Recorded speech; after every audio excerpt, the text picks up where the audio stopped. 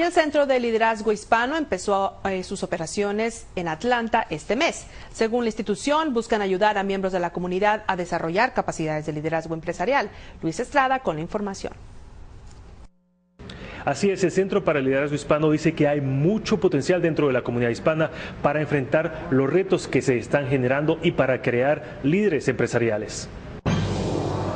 El centro es un instituto que el único en su clase que desarrolla talento hispano en el mundo corporativo y también en negocios empresarios. El Centro para el Liderazgo Hispano cree que en el Estado hay mucho potencial para crear líderes empresariales encaminados a enfrentar los nuevos desafíos que se están generando para la comunidad hispana. Primero tienes la parte de los profesionales que quieren avanzar sus carreras, pero también tienes la parte de las compañías que están aquí en Atlanta, que quieren, um, que se tienen que reinventarse, ¿verdad? Tienen que encontrar maneras y técnicas nuevas para desarrollar uh, líderes auténticos en sus um, negocios. Según Marisa, la organización dice que, producto del crecimiento de la población hispana en el Estado, se ha enfocado en agrupar a aquellos que tienen especiales intereses en hacer crecer sus negocios. Y también si hay una persona que tiene un negocio, puede escoger el curso que concentra el enfoque es las habilidades de un empresario.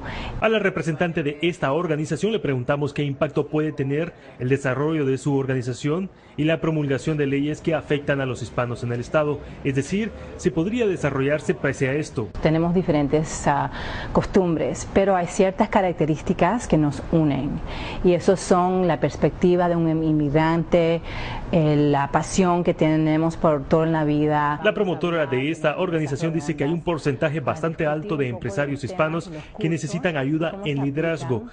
Cita datos del Instituto de Política Inmigratoria en el 2011, las personas nacidas fuera de los Estados Unidos tienden a ser empresariales.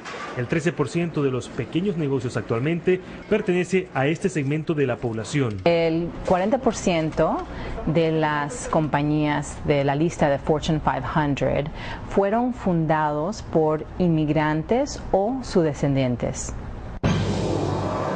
Y las personas que quieren pertenecer a esta organización obviamente tienen que pagar cierta cantidad para obtener los cursos y beneficiarse de esta.